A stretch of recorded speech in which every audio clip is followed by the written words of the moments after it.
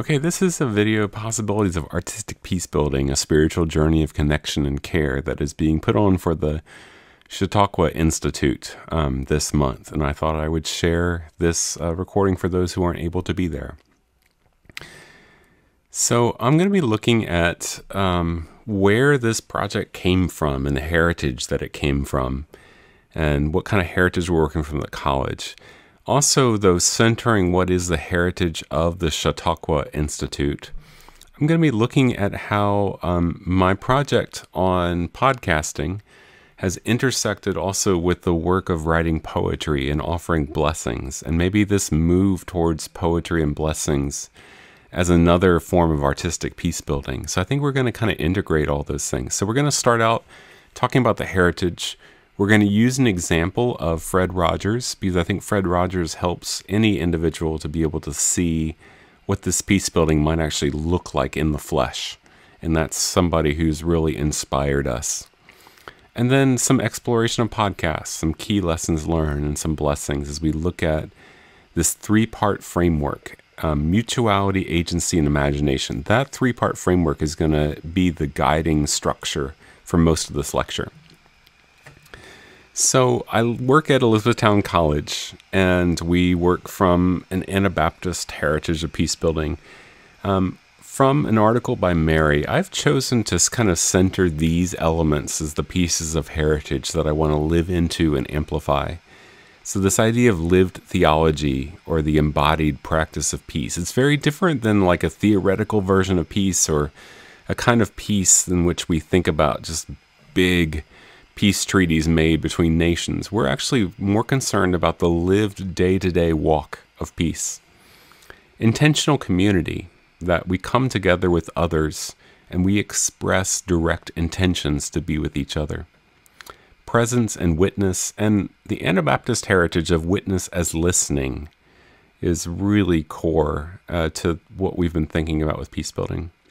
The violence of time, in a world that wants to move faster and faster and has uh, amazing high speed electronic devices, there is a violence to our speed, and maybe there is a need to slow down and be present with each other.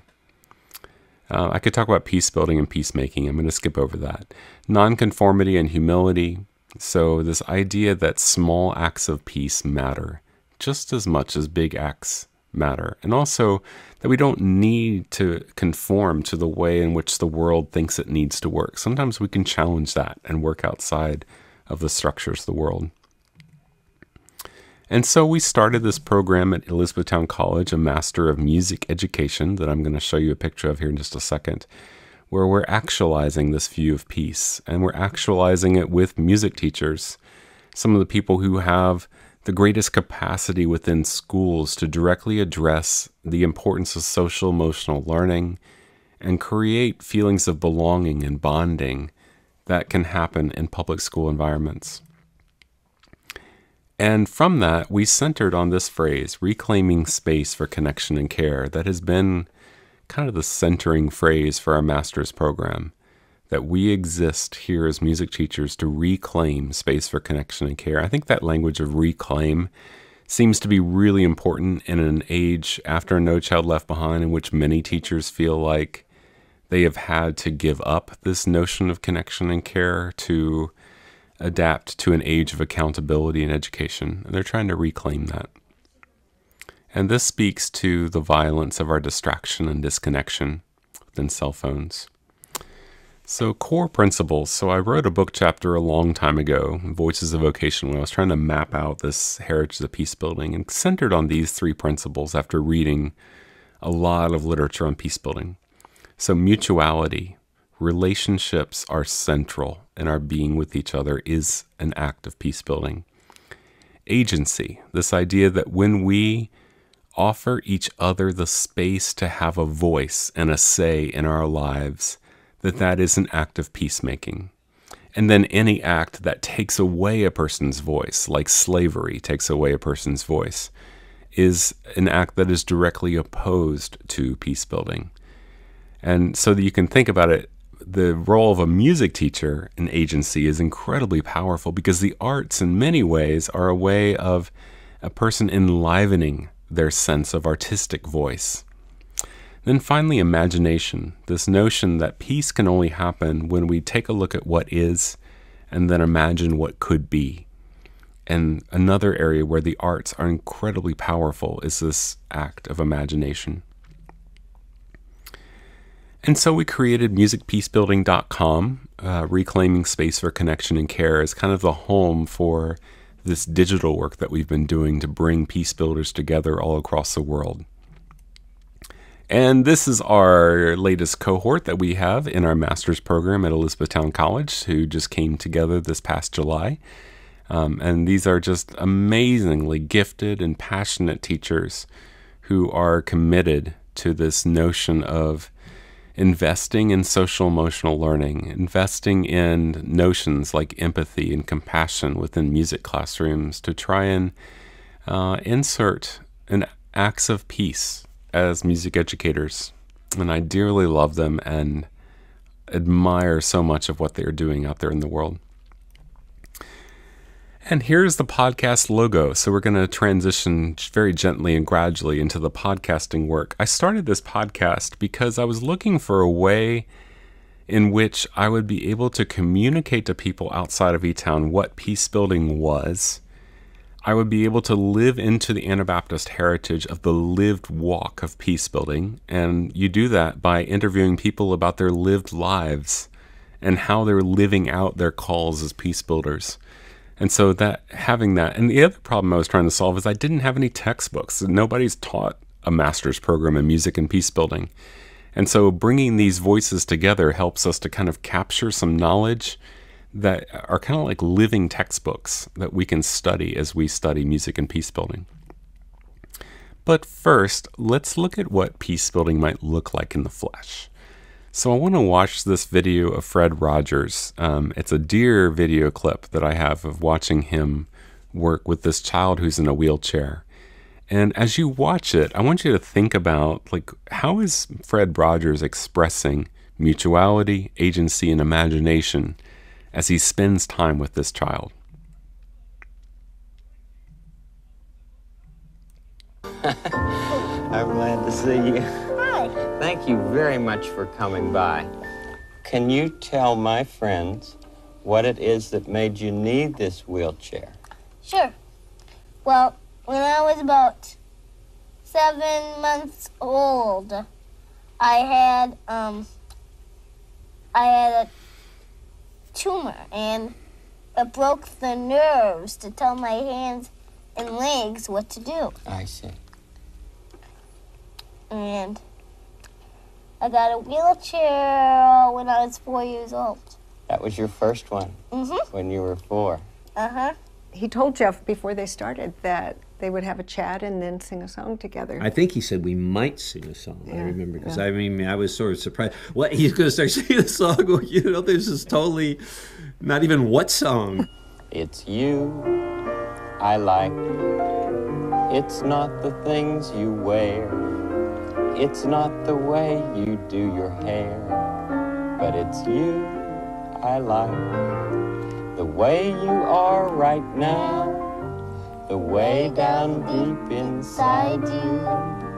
Not the things that I do. not your fancy chair. That's just beside you. But it's you I, like. Every part of of you. Your skin, your eyes, your feelings, whether old or new. I hope that you'll remember, even when you're feeling blue, that it's you I like. It's, you you yourself. It's you. It's you. I like. and it is you And there must be times when you do feel blue. Uh-huh. I'm not feeling blue right now, though. Me neither. I'm so glad that you came today. Thanks. I remember asking one of the one of the staff people that was there. Well, you know, what do you think? Did it go okay? So, Don't. This is good. This is good. He had his surgery, he survived. Certainly, Mr. Rogers had an impact on who Jeff became, his sense of self. Okay. So we asked this question like, what does this clip speak to a lived theology of peacemaking and peace building and mutuality, agency, and imagination? And if I had a live audience here, I would ask you to reflect on some of these things. You know, and usually some of the things that come up, there is a sacredness, and Fred Rogers getting down onto the level and looking directly into the eyes of Jeff, who's in the wheelchair there is a sacredness about how they reach this point when they can't do anything else but sing together. And you can see that the singing is like a looking into each other and an imagination about it's you who I like, and the genuine intention that's lived out there. And finally, agency, right? That um, Fred Rogers is sitting there and he is slowing down time. And he is slowing down time so he can take the time to listen to what Jeff has to say. So there's so much that we could talk about about this interaction that says peace. But let's move on. So moving from that, and I can't say enough about how Fred Rogers inspired me. I, have watched some of his episodes and I've looked at how he's slowed down time, and I've asked myself this question. If Fred Rogers was alive in 2022 and he was doing a podcast, what would he do? And I've tried to approach the podcast as if it is a slowing down of time. I try to read everything that, that whoever I'm interviewing has written before I get there because I want to honor and respect this individual and what they have to bring. And I try to find those kernel. What are the seeds and the kernels that are driving people in this work that they're doing? Uh, because these these are all ways of honoring the people who I'm with, and I consider it to be such a, a gift each time I'm with somebody. And so, after three years of work, here's a sampling of some of the people who I've interviewed over time. Uh, so many wonderful human beings who can all speak to issues of peace work and peace building and music education. I've interviewed songwriters, I've interviewed professional peace builders, I've interviewed world music drumming leaders, I've interviewed ethnomusicologists, I've interviewed um, Bharatanatyam Indian dancers uh, a leader of a Brazilian musical arts. I've interviewed somebody who works in a, the prison system as a music educator. I've interviewed people who are advancing diversity, equity, inclusion in music. I've interviewed Sonia de los Santos, a great children's musician who's advancing Hispanic Latina uh, songs. And then this year, I've added more interviews like Sandeep Das in the lower left of the Silk Road Ensemble, Brent Talbot on Gamelan. I've been focusing on the Silk Roads. Ted Levin on um, Tuvan singing. Uh, Masayo Ishiguro on koto playing in Japan. Uh, so many people here. Uh, you know, the Shakuhachi, Samonori, uh, Filipino peace building, just, justice, equity, inclusion. Ikeda, uh, the great peace advocate from Japan. Um, was able to talk with Olivier about him. So, anyway, that's where we are. So, let's talk about agency and mattering. And may our voice and choice be held by the interdependence of listening. So, here's an example um, Elizabeth Parker is doing beautiful work in research about how singing songs, especially within girls' choirs and women's choirs, may be songs of mattering, caring, and altruism. I think that because teachers give, like that's their that is the teacher's life is to be a giver. If one is if one is giving kind of in that in that one caring uh, capacity, then that is that's likely going to be something that you engender in other people, which is awesome. Like that's that's that to me is I mean that's the reason to be a teacher and the reason to to keep doing it is um, to know that that's you were listening Okay, and from this, I get questions like what does it mean to care? What does it mean to belong? And how do you hold caring and belonging within the space of agency? Sonia de los Santos and the joy of musical voice, one of my great heroes. She puts out so many beautiful songs of children's music.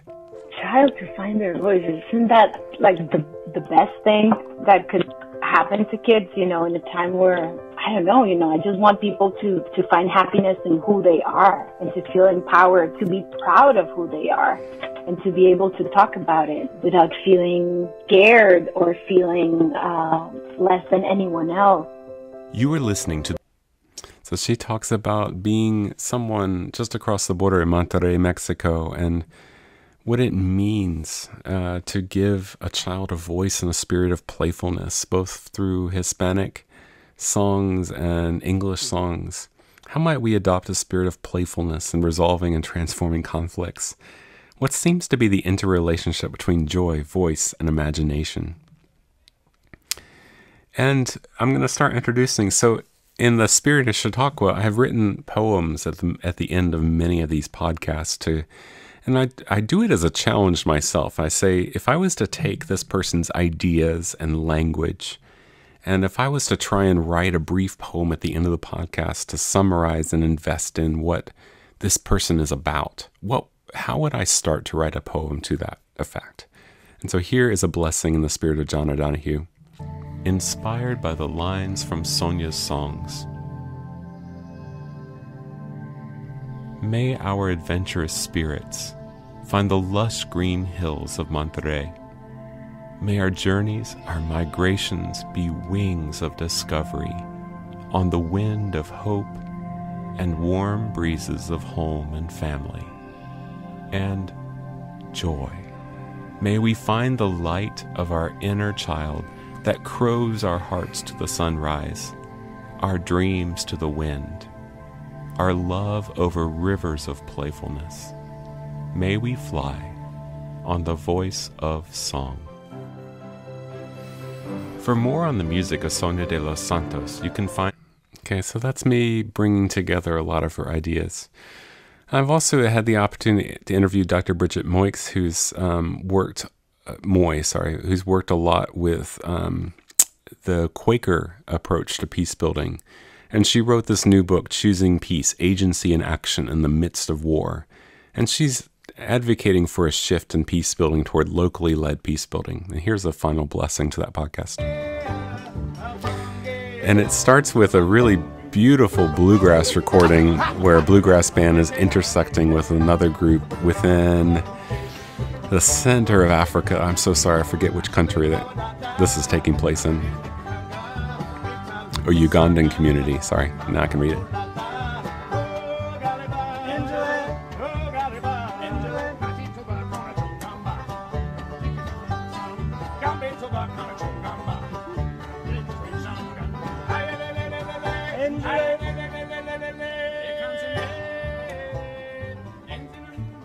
Lives be filled with the multiplier effect of hope and joy as we open space for new voices to hold agency for peace.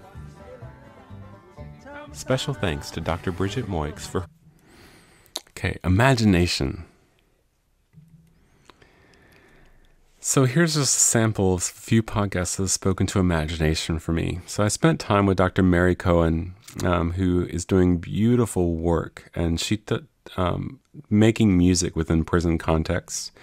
Um, out of her ethical concern for inmates, she calls them insiders rather than inmates. I'm going to use that language here. And the use of choral singing, uh, how is it an act of empowerment for marginalized communities in a way of finding voice? And maybe most importantly, an imagination of possible selves. So when we have wronged somebody or when we've caused harm, how might we imagine a better sense of ourself? And music is maybe asking that question, and maybe songwriting is asking that. Good afternoon. My Here's name a is uh, beautiful Robb. recording Most from of you guys know me as A-Rod. an insider talking about a song. Earlier, you heard Macy speak of the Native American tribes who once called Iowa home. I am an enrolled member of one of these tribes. In this choir, we sing from a variety of perspectives, not always aligning. For example, the next song makes me uncomfortable. I know firsthand the depths people will go to to attain their perfect peace. However, I'm beginning to understand the humility it takes to build bridges of peace. It's with this in peace in mind that we sing the following song.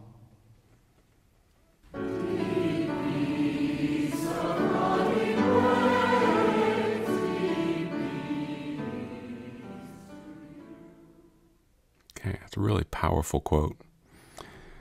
What are redemptive and restorative approaches to justice? How does music open imaginations of possible selves? Okay, next one Narratives of Trauma and Transcendent Hope with Tanae Angela Freeman. Tanae is going to be on the Etown campus this February to do a concert and maybe even a, a, some book readings from her recent novel, The Sky is Deeper Than the Sea. Her beautiful creative work talks, it, it, it investigates notions of trauma, racialized trauma in the United States and the notion of the transcendent hope. And her novel in particular follows the Great Migration North, and with uh, in within the tradition of magical realism and a series of flashbacks, she is working on writing to her imagination of how trauma might be transcended. When we decide that we're going to operate from a place of hopefulness and believing that tomorrow can be better than today, it gives us the power to display acts of radical mercy. It gives us the power to continue creating, to continue being loving. And I think art is one of the ways that we can paint these pictures of hope. So for me, all of it was my attempt to point in the direction of hope, transcendent hope. You were listening. Okay, some questions. She describes listening as an improvisatory act, a sense of listening for what comes next. What does it mean for listening to be an improvisatory act? What is the role of transcendent hope in healing trauma and building new, compassionate realities? Next podcast, uh, interview with Marta Gonzalez, uh, who's done some gorgeous work in the Los Angeles area, and she is she's um, been Grammy nominated for her work with Quetzal uh, and their work on the son jarocho uh, musical genre, which has been a really interesting genre to pay attention to because of the ways in which fandango is used to advance notions of community and also to challenge structures like the border wall at the United States Mexican border. Uh, there's the ritual of playing fandangos um, at the border with people from both the Mexico and the United States side making music together across the chasm of the border. How are you going to influence with dignity? How are you going to, without really imposing your thought or your own aesthetic onto the practice? As a musician who loves to do this and values songwriting, how can I be a good facilitator, but also a good instigator?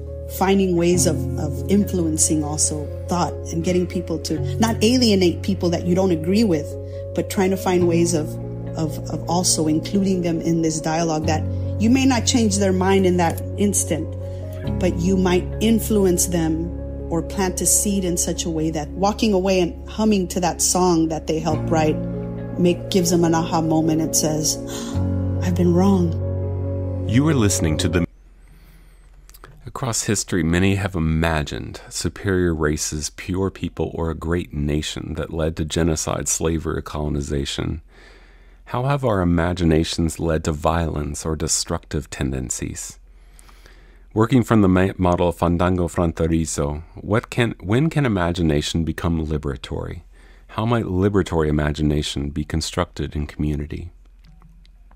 And here's a blessing from that podcast. There have also been moments of hope Music in this sense was inspiring, a conduit of freedom and a malleable tool for those who envision social change. These moments in particular have allowed me to see how music could be a liberatory process, a deliberate act of love, and a source of empowerment for self and community. A poem taken from words and inspirations from this conversation. May we have a convivencia of dreams, opening worlds, rejecting erasure, where the names of things lean on the thread of relation, holding the breath of connection, where our desire for more says no more, as heels of protest hammer the tarima against the disconnection of our being. May dreams surpass the harshest barbed wire, bending to sadness, standing tall for loving, and sculpt and mold new voices, new imaginations of relation. Special thanks to Marta Gonzalez. Okay, and that last section about bending and standing tall was taken directly from the lyrics of some of the women who wrote pieces with Marta Gonzalez to empower women's voices within, I think, Mexico City as she was doing songwriting workshops there. Embodied poetry of ritual and symbol and transformative space, Lisa Schirch is one of the pioneering leaders in the field of peace building. That includes you in this in this interview. So I'm grateful that you're interested in this and you're exploring it and I look forward to hearing more of your podcasts to learn what you're doing. Special thanks to Dr. Lisa Schirch for her time and scholarship. Links to her publications and website can be found on our podcast website at musicpeacebuilding.com. If you are as fascinated as I am by symbol and ritual, I highly recommend her text on ritual and symbol in peace building, as well as other music education, peace building, and anthropology texts that will be listed on our website. As we close this first season of our podcast, I close with a blessing taken from the thoughts of Dr. Lisa Schirch. May you enter a rainbow and hold the blessing of symbol, transforming sun soaked water droplets into beginnings and thresholds, transforming smoke into reminders to seek best intentions. May you dance to music transforming metered time into rituals of shared being. May we honor joy, happiness, pain, and grief, bearing violence and fear, and giving birth to love. May we signify the dance of our time together. Listeners, it has been a joy and a pleasure to spend time Okay, and finally, mutuality and relation. Um, I think that being at Chautauqua is important to talk about ecological care because in this beautiful space that we have with these trees. Uh, and Dan Shevock has been one of my uh, beloved scholars who's been out at the forefront of talking about eco literate music education. A lot of actual diversity in the world when it comes to cultural musical diversity has to do with traditions being held by somebody. Yeah. And where we in the West have uprooted ourselves, rerooting ourselves and refinding those old traditions where we can. You are listening to the Music and Peace Building Pod. Does our sense of ecological care and being change as we live into local forms of being? How does learning to hear ecological soundscapes and the rich diversity of sounds change our sense of being, caring, and belonging? So, in many ways, he's asking children to, to leave the walls of the classroom and go outside and listen to the soundscapes that are within the natural world and reclaim that sound. And here's a blessing May we all sow deep roots that curl and hold with the diversity of our mutual being, musicking into ecological being, sounding radiant sunrise or symphonies of inner silence.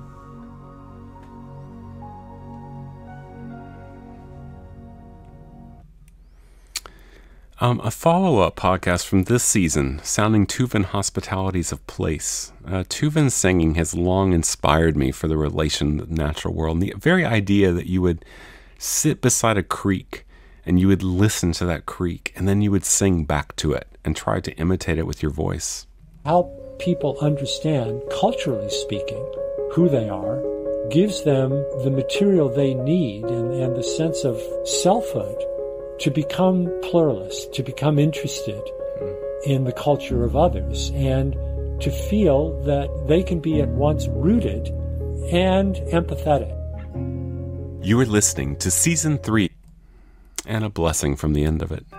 As we close this episode, I embrace a love of poetry that is so deeply held in Central Asia, constructing a poem from the ideas in this podcast. When we find ourselves in the company of roaring waters, nearby creeks, the poetry of leaves in the wind, may you wrap your arms, embracing sounds to enter the marrow of your being. Pull closer. We are in sacred space, the hospitality of here. Let us sing to this place and listen. Sing and listen until exchange entwines, coloring our impermanence in pressing necessities of relation. May we sing and listen songs that caress, weave, embrace tangles of care, winding roads across mountains, rivers, caves, valleys to a presence of being here.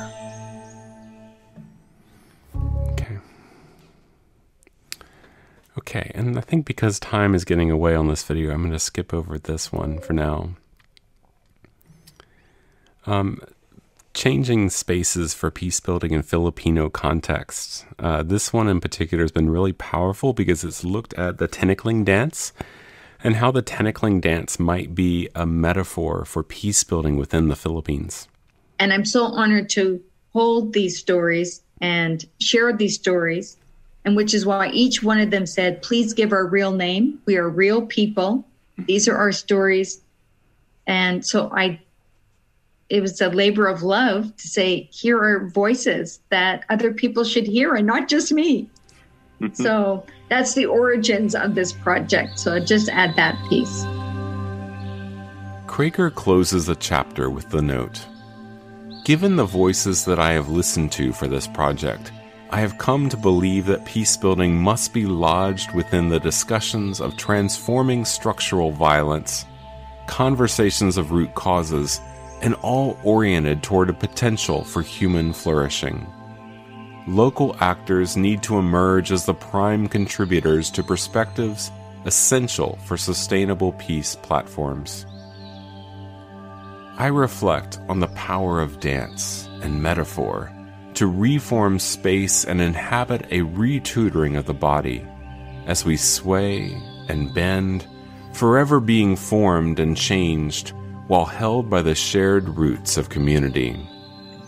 May we collapse endless cycles of harm, unweaving looms of colonial thinking, reforming spaces that collapse distance and weave strands of relation, and allow ears, our mouths, our bodies, our beings to retutor us, dancing tinikling steps, paths, and a bamboo swaying to the inner nudges of the moment. Dr. Wendy Kroeger's book, Multidimensional. Okay, so she's speaking a lot The bamboo is a metaphor in this. And I think one thing that really inspires me about Tinikling Dance and the, that picture in the lower left is that it is a model in which people move in a circle and they're tightly focused on the dancers in the center. And that sense of attention on each other is something that seems to break through our colonial cycles of trying to own each other and to dominate each other. Instead, art creates a space where mutuality has to take place. Okay, and this is, I think this is the final one. This has been my most popular podcast, the one that's had the most listens on restoring women and ethics of care through Indian dance. Uh, so, so Day is taking this dance style, the Bharatanatyam dance style, from the Odissi style of classical Indian dance. And she's taking minor female characters and reinscribing the story such that an indigenous female character might have a greater sense of voice.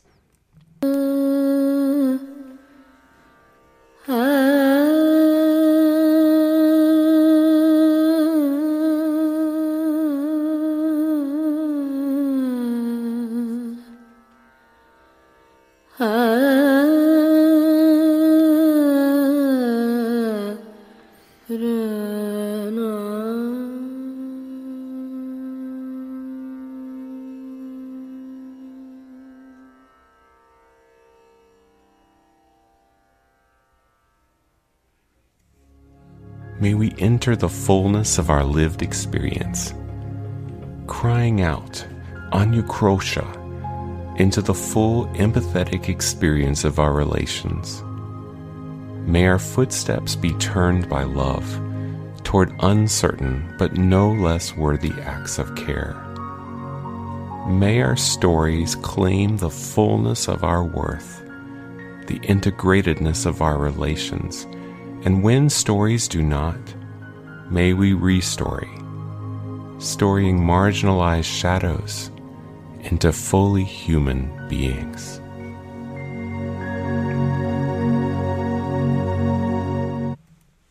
Okay. And we're encountering the next work, which is Silk Roads of Peace. We're going to be teaching a course this fall on Silk Roads of Peace. So we'll be going through cultures within Japan, China, Central Asia, India, um, Persia, Iran, um, Iraq, um, Islamic cultures, and looking at how what kind of uh, wisdoms and expertise do these cultures hold for peace building, and that's been kind of our work this past year. And I think I close with some of these questions about like what does it mean to sit with voices and allow those voices to change us, particularly as I moved to Japan and uh, in Ikeda and looking at the tradition of dialogue that is there and this notion that dialogue you should enter a dialogue first with the intention of being changed rather than the intention of expressing yourself. And I can say for myself that spending all these hours on three years of podcast has changed me. And it's made an impact about how I express and understand musical and artistic peace building. So, with that, I want to thank you for your time, and I hope that you've gained something about this notion of music and peace building and how artistic peace building offers different kinds of possibilities for peace work that go beyond the talk, and they offer ways through mutuality, agency, and imagination.